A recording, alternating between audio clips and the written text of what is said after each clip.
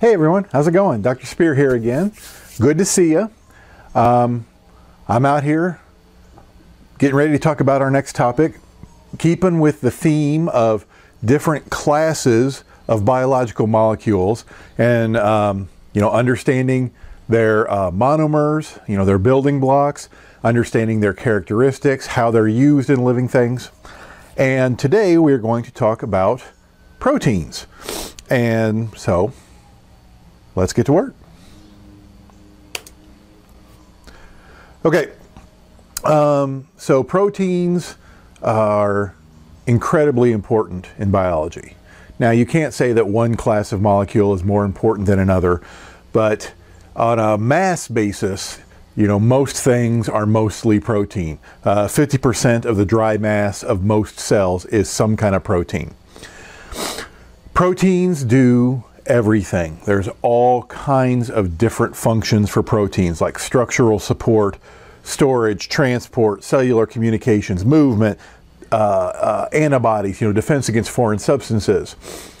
Bottom line is, um, proteins are very diverse. Also, they're very big. Remember I said that biological molecules tend to be very big molecules, macromolecules. Proteins embody that. Proteins are large, they're diverse, so there's all kinds of different proteins that do all kinds of different things, and they're very important. Um, now, you may be familiar, you may have, have, already learned and know a lot about proteins, but uh, again, a theme that I'm going to come back to again and again and again with proteins is their shape is incredibly important. Their three dimensional shape. And so their three dimensional shape determines how they work. And if you change the shape, you change the function. And so that's going to be something that we're going to come back to again and again and again. So that's the important thing to know about proteins is that shape is critical to their function. And so we said there's lots of different functions for proteins. And so let's just give you examples of those. And we're going to touch on all of these during this semester. Um, a lot of, uh, most of our enzymes are proteins. So enzymes are catalysts. What's a catalyst? A catalyst is uh, a molecule that uh, speeds up another reaction without itself being changed. And so biological catalysts are called enzymes, and 99% of the time they're proteins. And so the enzymatic proteins in your body help to speed up the chemical reactions that you need to be alive.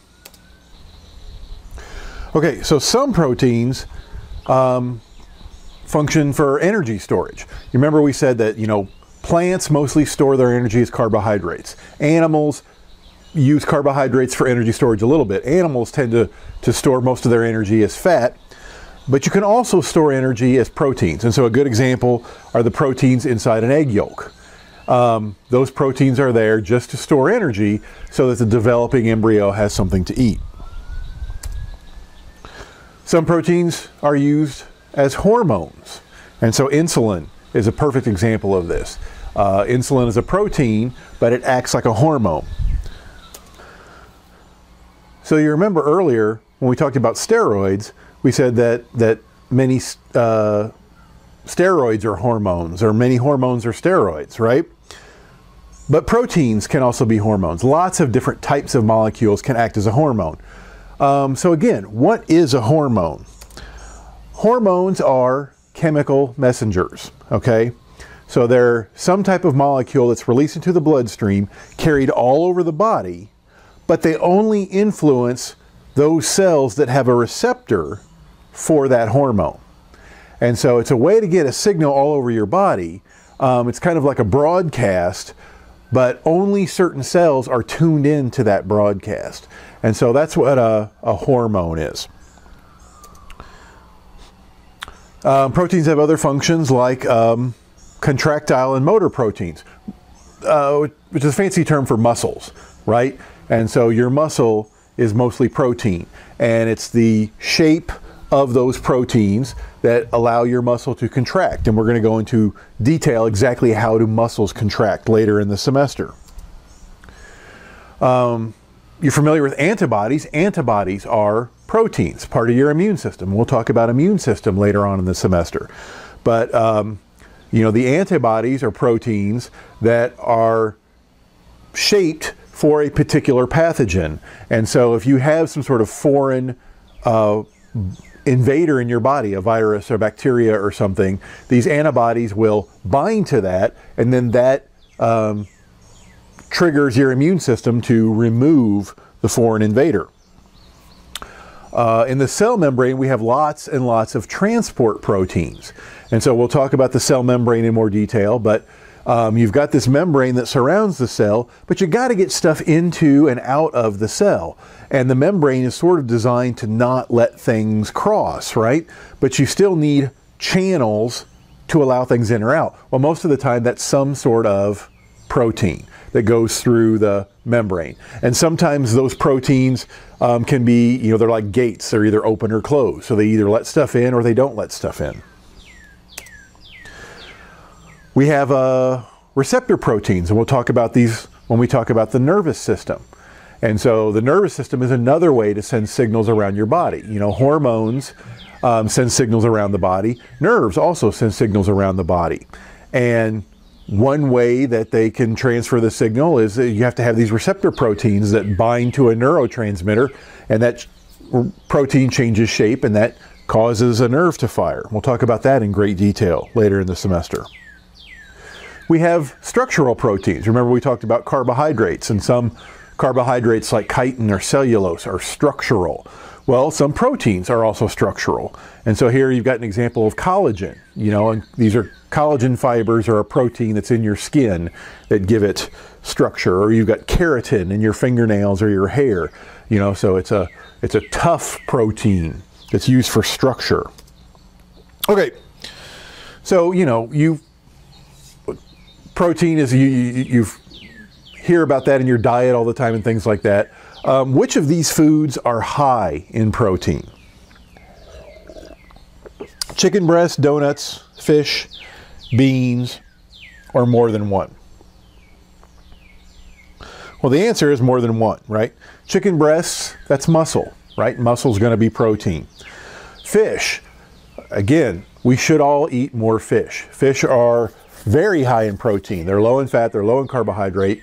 Uh, when you eat a fish, mostly you're eating the um, myomeres, which is the type of muscle that runs along the side of the fish.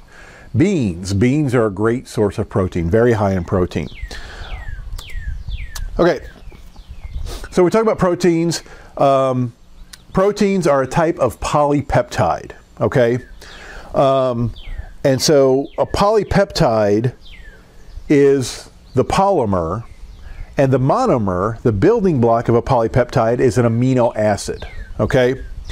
And so if you have a polypeptide that has a biological function, then we call that a protein. All right? And so um, some proteins are more than one polypeptide. So for some proteins, like uh, hemoglobin, you need four separate polypeptides that all interact together, and now you have a functioning protein. And so again, the monomer, the building block of these, is an amino acid, and the polymer is a polypeptide. Why is it called a polypeptide? Whenever you join amino acids together, that's called a peptide bond.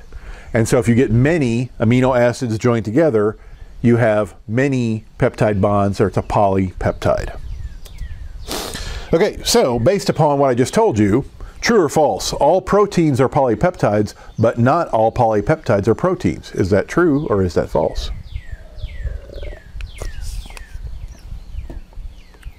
That is true, right? Again, um, you can have a polypeptide that by itself doesn't do anything, but when it teams up with other polypeptides, then it has a biological function and we can call it a protein. Now, having said that, um, we'll probably use the terms interchangeably. Um, you know, I'll slip and sometimes call them polypeptides or sometimes call them protein, you know, so just so you're aware, but they're kind of, they're not exactly the same thing, but we kind of use them interchangeably. Okay, let's talk about those monomers, the amino acids. Um, amino acid is a type of molecule. It's got um, a carboxyl group on one part of it and an amino group. And those are the functional groups. Remember we talked about the functional groups, right? These specific small types of, of molecules that are reactive, that where a lot of the chemistry takes place. And so um, every amino acid is going to have a, a, a carboxyl or a carboxylic acid on one side and an amino on the other side. Um, now, there's only 20 of these amino acids. There are lots more amino acids, but in biology, there's only 20. And every per, uh, protein in the world is built out of those 20 amino acids. So it's, it's, it's you know, the analogy is uh, the English alphabet has 26 letters, and you can make any word and any sentence in the world out of those 26 letters. It's the same idea, right? By just arranging these amino acids in a particular order um, and you know adding more or taking some away, you can build any protein in the world. Any, yeah, any protein in the world. Anyway. Um, so here again, we're kind of showing a, a, generalized schematic of an amino acid. And you see on the one side, you've got the amino group. Anytime you hear the word amine or amino, think nitrogen, all right? And so if you've got an amine group or an amino group, then it's got to have nitrogen in it. And if you look at this diagram, you see it's got it's an NH3. You know, ammonia, that's also got nitrogen in it. The other end, you've got the carboxyl group. Uh, sometimes it's called a carboxylic acid, which is why these are called amino acids, right? Again, remember what functional groups are. We, we already seen some of these functional groups. And so these are just two particular functional groups that you're going to find on an amino acid. Now you see attached to them is this side chain, which they call the R group or whatever. And so this is a much bigger part of the molecule. Right now in this diagram, it looks like this R group is just small, but the R group is actually the biggest part of the amino acid. But they all have this amine and carboxyl group on one end. And so here are um, some different amino acids and, and how they, and you can see they've got kind of, you know, different shapes here. But if you look at them closely, you see they all have that, that um, nitrogen, that amine group, and they all have the carboxylic acid, the COOH right? So you can see that on each of these different amino acids. But then hanging off of that, the big part, the R group, there's a lot of variability in those R groups. So here's a diagram showing um, even more. Is this all of them? 1, 2, 3, 4, 5, 6, 7, 8, 9, 10, 11, 12, 13, 14. Yeah, here's all 20 amino acids.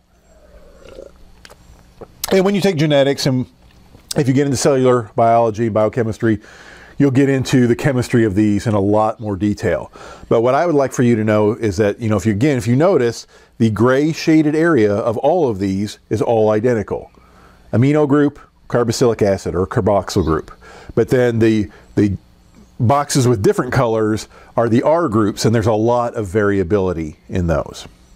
But again, these are the monomer. These are the building blocks. Let's put these together to build a polypeptide.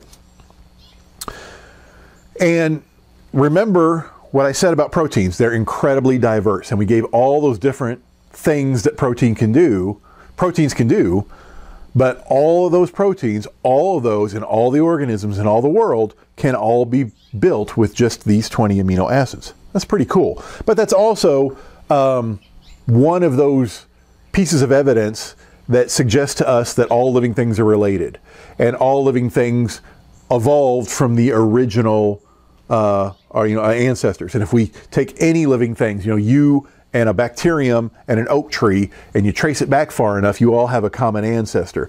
And, and why do we think that? Because all living things share these 20 amino acids. Okay, and so we said that you know, a polypeptide that has a biological function, that's what actually we're going to call a protein. And so we also said that proteins are very dependent upon their shape. And so you take one or more polypeptides and twist them and fold them into their particular shape, then they can function as a protein.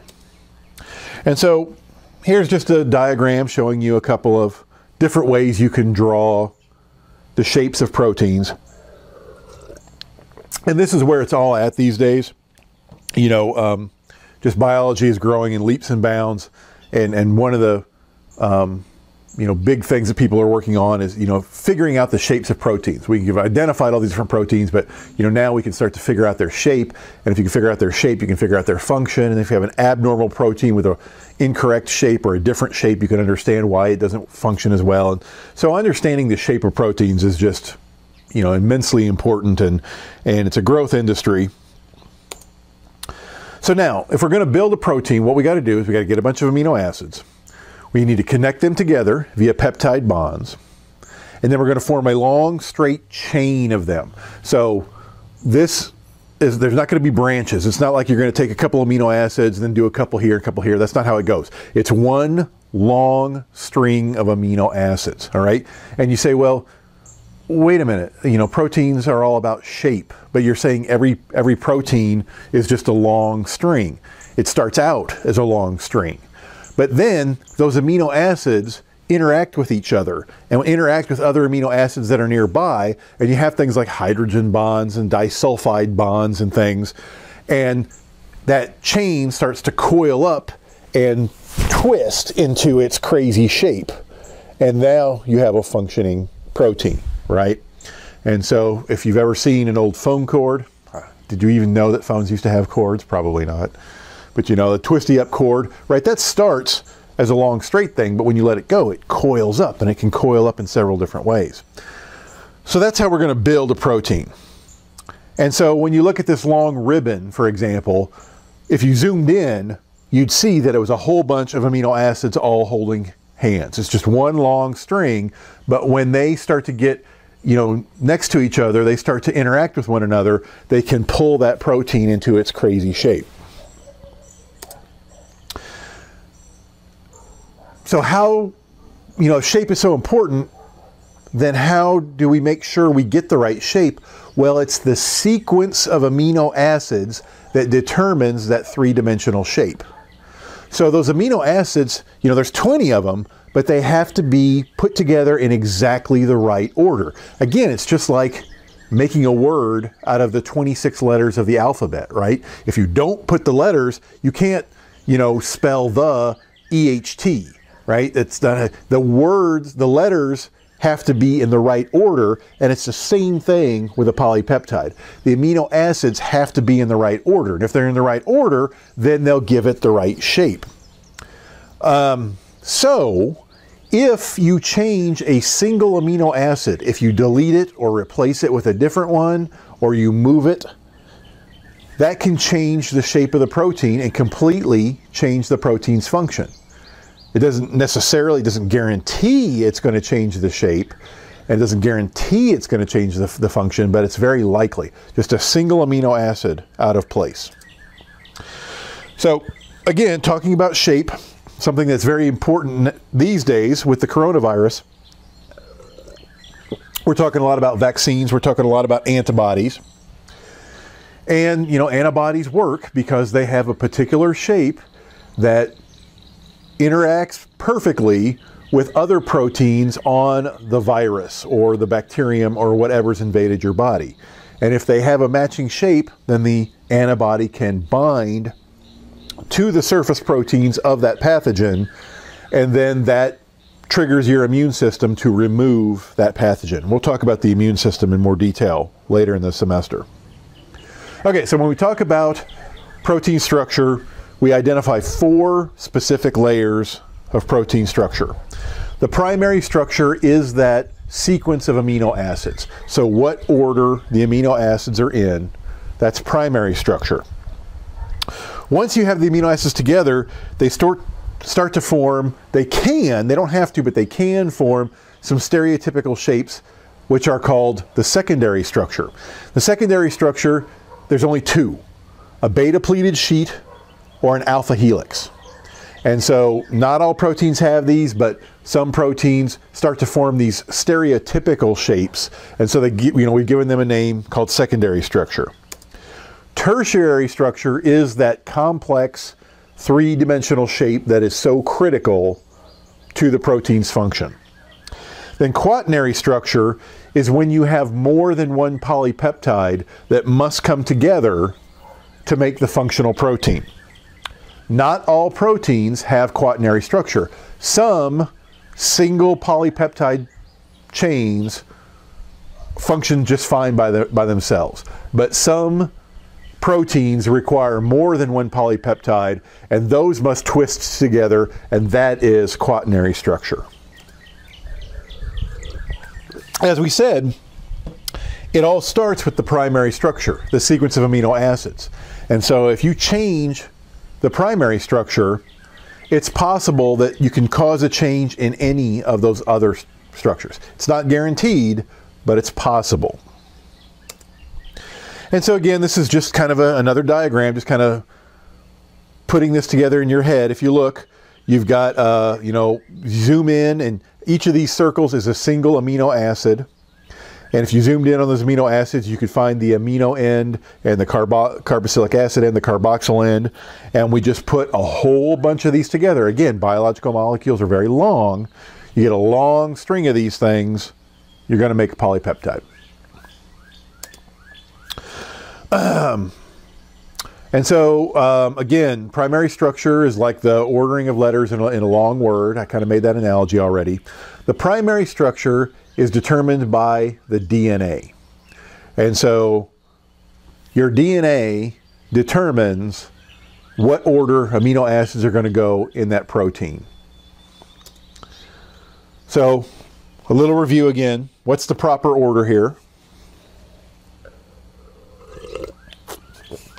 This is our mantra that we chant every night before we go to bed. DNA makes RNA, makes protein.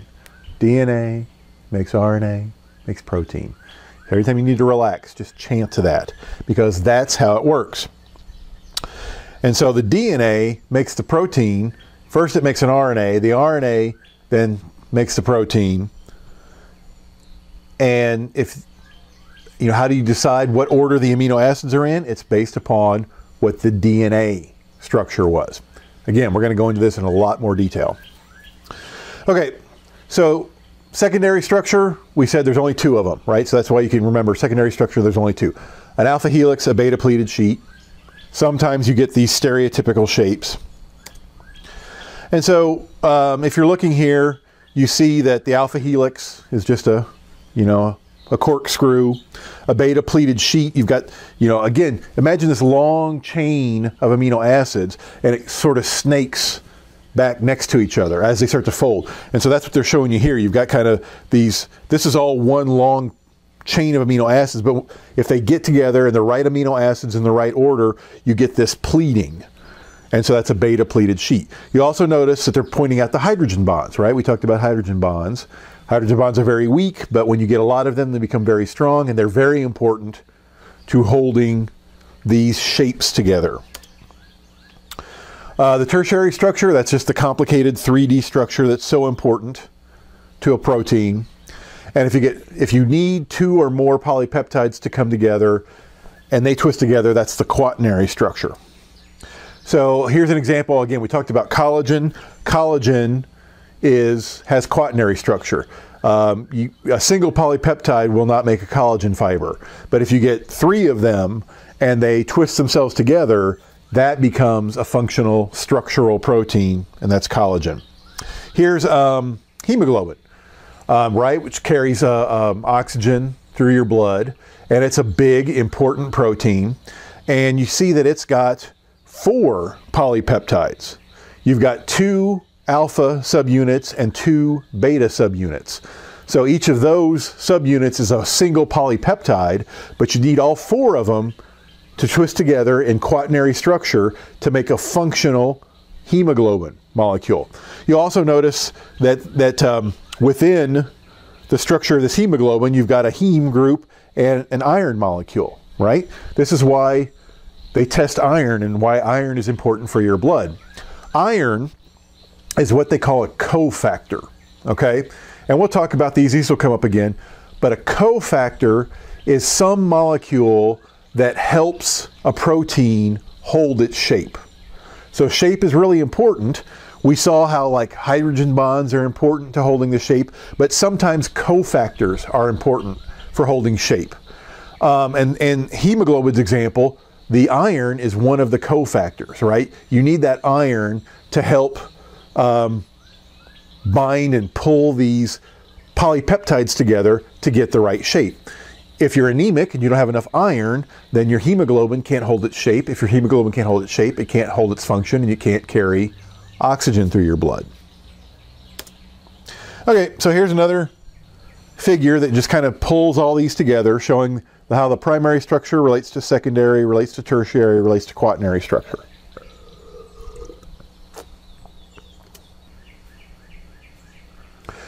Okay, so you know we said that the the primary determinant of the amino acid structure is the DNA, and that's always true.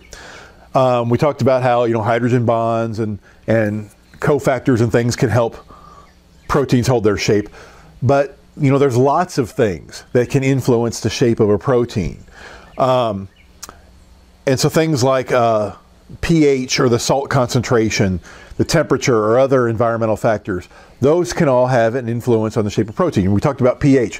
Why do we worry about so, much about pH? You know, those hydrogens are very reactive.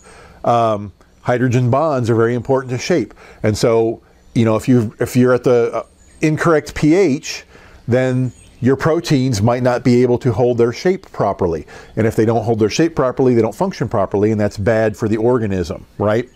Uh, salts or temperature things. These can all influence the shape of a protein.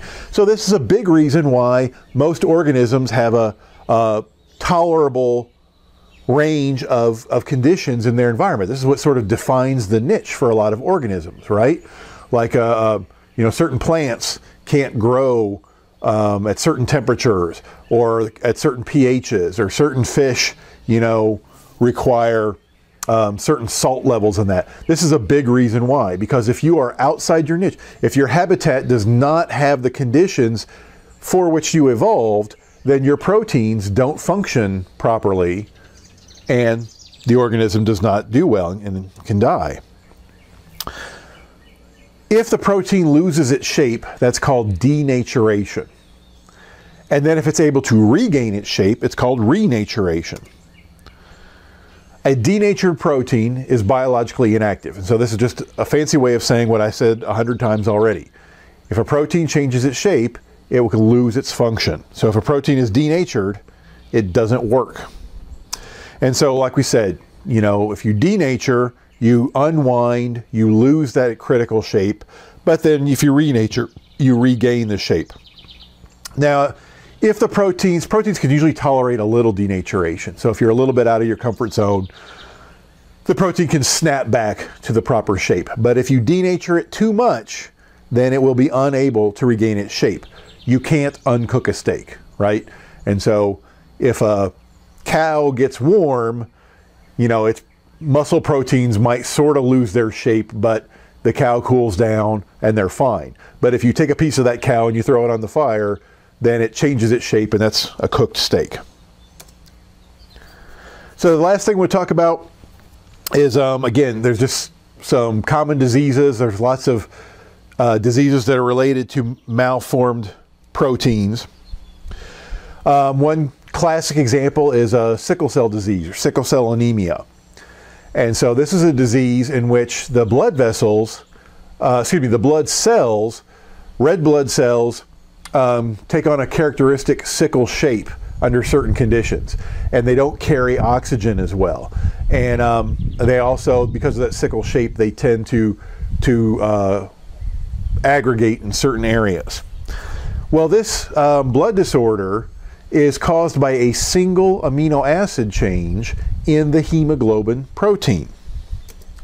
And so you remember we talked about hemoglobin and it's made of four subunits, two alpha subunits and two beta subunits. Each of those subunits is a single polypeptide, so it has quaternary structure.